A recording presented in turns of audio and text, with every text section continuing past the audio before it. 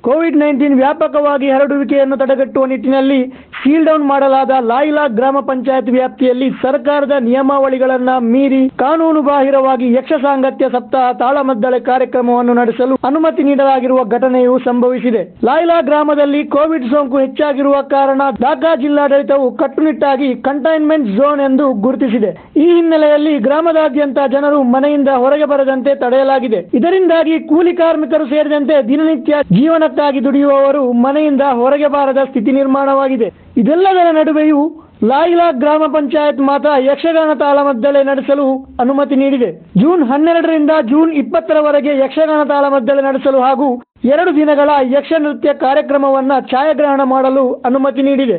ಆ ಮೂಲಕ ಸರ್ಕಾರದ ನೀತಿ ನಿಯಮಾವಳಿಗಳನ್ನು ಗಾಳಿಗೆ ತೂರಿದೆ ಎಂಬ ಆರೋಪವು ಕೇಳಿಬಂದಿದೆ ದಕ್ಷಿಣ ಕನ್ನಡ ಜಿಲ್ಲೆಯಲ್ಲಿ ಅತಿ ಹೆಚ್ಚು ಕೋವಿಡ್ ನೈನ್ಟೀನ್ ಸೋಂಕು ತಗುಲಿದ ತಾಲೂಕುಗಳಲ್ಲಿ ಬೆಳ್ತಂಗಡಿ ತಾಲೂಕು ಮೊದಲ ಸ್ಥಾನದಲ್ಲಿದ್ದರೂ ಸ್ಥಳೀಯ ಅಧಿಕಾರಿಗಳು ಸೇರಿದಂತೆ ಪಂಚಾಯತ್ ಆಡಳಿತ ಮಂಡಳಿಯ ನಿರ್ಲಕ್ಷ್ಯತೆ, ಬೇಜವಾಬ್ದಾರಿಯಿಂದ ನಿಯಮಾವಳಿಗಳನ್ನ ಮೀರಿ ಅನುಮತಿ ನೀಡುವ ಮೂಲಕ ಒಂದು ವರ್ಗವನ್ನು ವ್ಯವಸ್ಥಿತವಾಗಿ ಮೆಚ್ಚಿಸುವ ಪಿತೂರಿ ಮಾಡಲಾಗಿದೆ. ದುಡಿಯುವ ವರ್ಗವನ್ನು ಕತ್ತಲಲ್ಲಿಟ್ಟು ಮಧ್ಯಮ ವರ್ಗದ ಕಲಾವಿದರನ್ನು ಬಳಸಿ ನಡೆಸುವ ಕಾರ್ಯಕ್ರಮಕ್ಕೆ ಅನುಮತಿ ನೀಡಿದ ಪಂಚಾಯತ್ ಆಡಳಿತ ಹಾಗೂ ಕಾರ್ಯಕ್ರಮ ಸಂಘಟಿತರ ವಿರುದ್ಧ ಕ್ರಿಮಿನಲ್ ಮೊಕದ್ದಮೆ ಹೂಡಬೇಕೆಂದು ಸಾರ್ವಜನಿಕರು ಒತ್ತಾಯಿಸಿದ್ದಾರೆ.